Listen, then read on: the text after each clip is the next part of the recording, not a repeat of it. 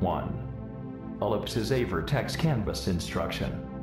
It allows drawing of a regular polygon or an arc based on them. 2. This article shows regular polygons with different number of size. They have many vertices on a circle. 3.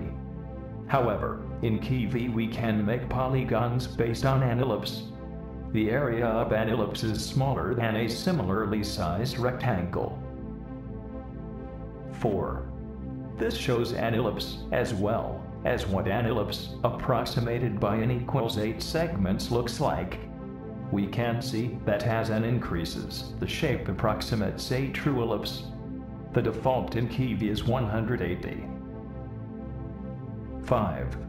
These are the formulas for x and y. These math formulas assume the center is 0, 0. Thus, after calculations are done, there has to be translation by x of a and y of b. The width is 2a and height is 2b. Note, the angles in Kivy are different than those in math.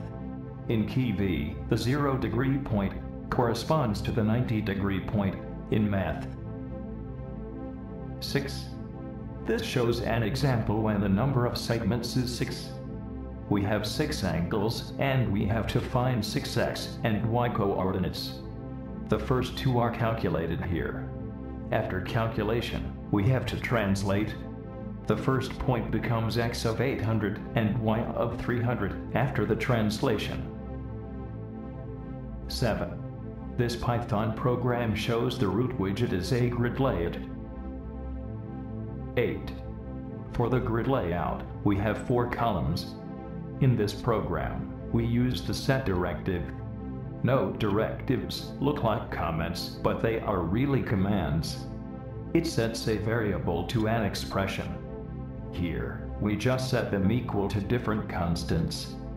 These constants refer to what arc to cut for the figures in row 2 and row 3 of the grid. The window is cleared by painting with white color. 9. These instructions define the first two ellipses. We set a color for the row. The first ellipse has n equals 180, which is the default number of segments. The next one has 5 segments, which will be a pentagon. 10. The next two ellipses in the first row have segments of 4 and 3. This gives shapes of a square and an equilateral triangle. 11. First, the color is set for the second row. These two arcs are created. For the arcs, we have to give the start and the end angle. We use default number of segments, 180 and 5, for the two ellipse arcs. The rest of the KV file corresponds to the other six ellipse arcs following the same pattern. 12. This is the result. We have three rows and four columns. Rows 2 and 3 are arc shapes, while row 1 has the default angles 0 and 360 to form a complete circle.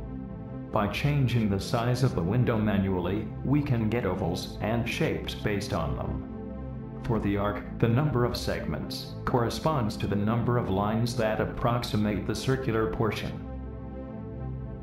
13. You can find additional information including the source code at pythonmobile.blogspot.com.